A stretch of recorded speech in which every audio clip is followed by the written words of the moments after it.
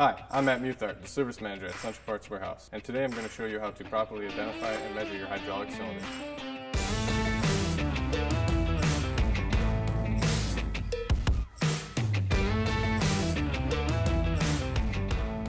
The first step in identifying your hydraulic cylinder is to count the number of ports on your cylinder.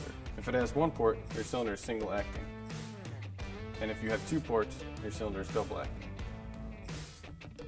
Single acting cylinders only have pressure one way, while double acting cylinders extend and retract with hydraulic pressure. The next step is to measure the port size. This measurement will let you know what size hydraulic port you have.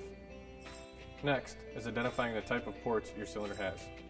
You can either have a pipe thread port or a Boss O-ring port.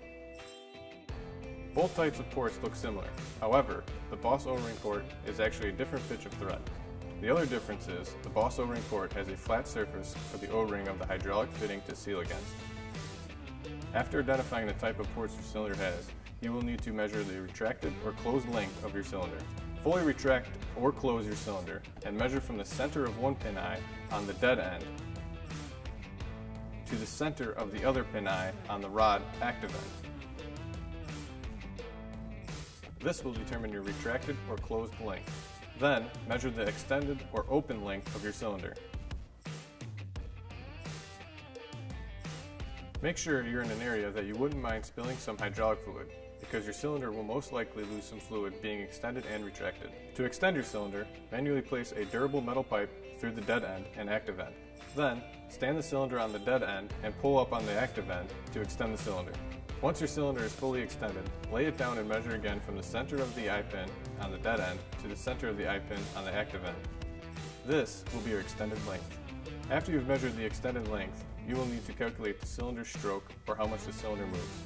Find the stroke of your cylinder, subtract the retracted length measurement from the extended length measurement. The difference of the two will be your stroke. Now, we need to determine the type of mount your cylinder has and the mount width. There are several mounting options for your cylinder, such as cross tube, drilled through, and milled.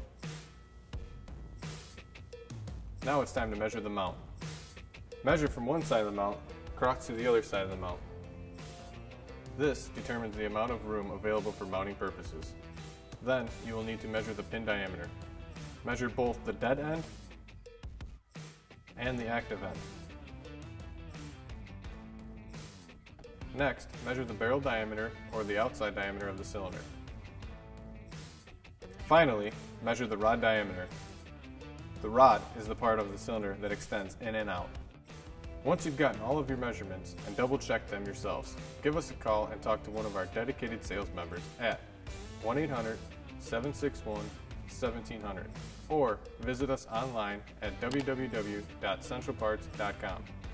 This is Matt from Central Parts Warehouse. Thanks for watching.